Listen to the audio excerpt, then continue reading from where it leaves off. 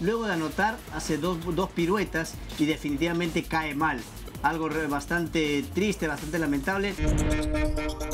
Normalmente hay accidentes que se han dado por un golpe del rival, por una patada, pero esta vez fue una celebración propia, ¿no? Cuando intentaba hacer una acrobacia y celebrar el gol, ¿no? Peter Bianzan es el nombre de este jugador. De- definitivamente bastante tranquilo. qué se fracturó el rompió el cuello? cuello Mm. celebrando el gol que significaba la igualdad de las acciones en un partido de la Liga Regional de la India.